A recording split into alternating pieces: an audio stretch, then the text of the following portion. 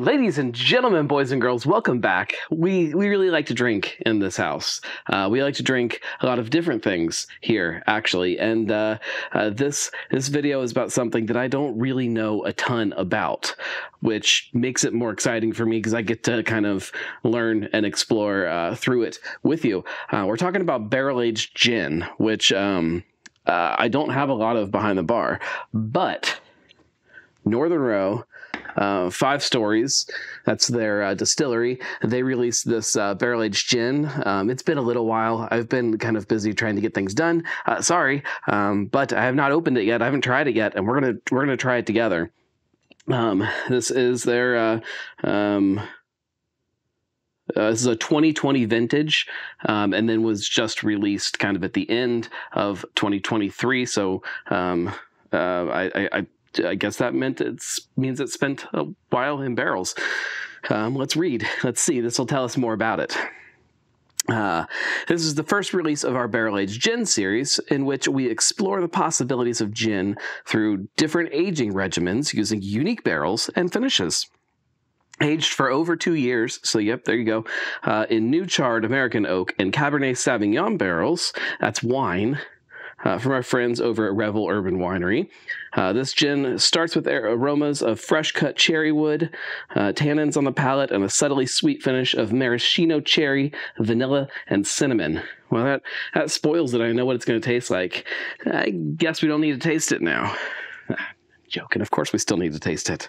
Um, 94 proof. Well, this is a this is a big boy. Um, it really kind of uh, reminds me of um, whiskey when I look at it. So um, definitely curious to see what it will uh, what it will taste like. We got our taster glass. Uh, let's uh, let's pop this thing open. I don't know what the proper way to taste uh, a barrel aged gin is. All right. Well, at least they put these little tabs in here to make these easier to open. Clean this all up.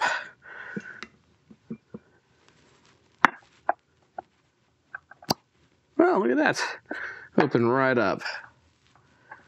All right.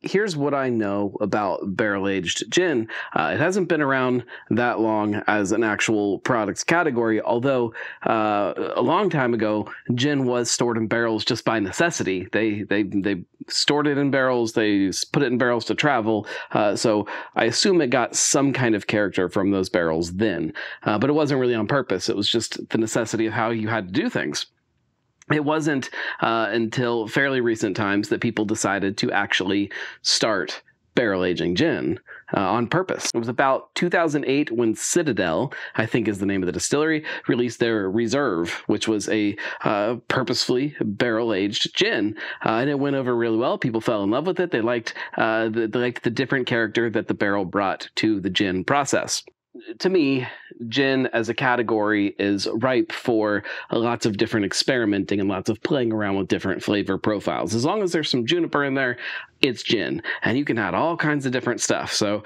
uh, kind of leaning into um, barrels, uh, it, it, works. It works. It works really well. It makes sense um, as a different flavor that you can add to this whole thing. Uh, enough talk. Let's uh, let's let's let's try this um, because I've been um, chomping at the bit to try this for months. It's been teasing me on my bar.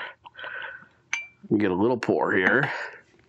Yeah, it looks kind of like a uh, like a light whiskey. Um, it's got some body to it, some definite uh, um, alcohol going on there with the uh, the legs on the glass. Uh, let me get in here and give it a good sniff. Oh, okay. Oh man, that is interesting. So I definitely get I get the juniper uh, right off the bat. It's still there. This is definitely a gin. Um, but then there is this really great, almost like um, in my head, I'm thinking uh, vermouth, um, but I guess that's kind of the the cherry uh, aspect that they were talking about on the label. But yeah, this this smells like a cocktail already. It smells like a gin cocktail. Ooh, I'm excited about this one. Mmm.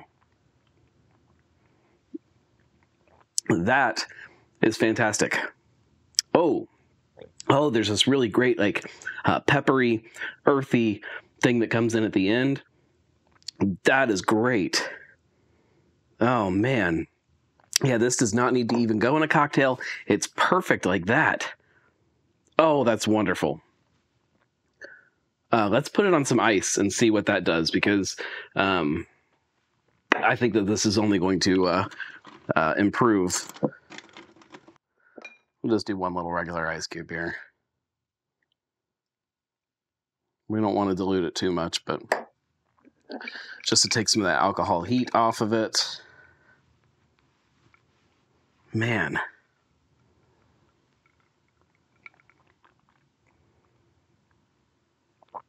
Oh, yeah. I could just sit and sip that all night long. What's really cool about it is that um, it still has a lot of that fresh kind of uh, herbal, uh, again, juniper makes it a good summer drink. Um, but there is this really cool complexity that makes me want to um, kind of sit and really sip on it, which is more of how I drink in the winter. Uh, that's some good stuff. That's really good. Yeah, there's like this this really cool peppery thing. Um, oh man.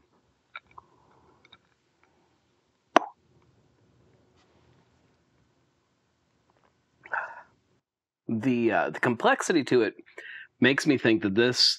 I'm thinking cocktails now. This is not a spirit that I would want to use in a uh, longer drink like a gin and tonic or something like that, um, because you would lose all of that complexity of the spirit itself. Maybe if you gave yourself a nice healthy pour and put it in with just like some uh, some soda water, I would, might be okay with that. But no, this is this is begging for uh, just an up cocktail, like a like a real stiff kind of pre-prohibition um, drink. Holy smokes, that's good. That's good. Uh, get yourself some of this. Seriously, um, great stuff. Knocked it out of the park. Uh, good job. Five stories slash Northern Row. Um, I approve. That's great. That's really good stuff. That is uh, that belongs here on the bar.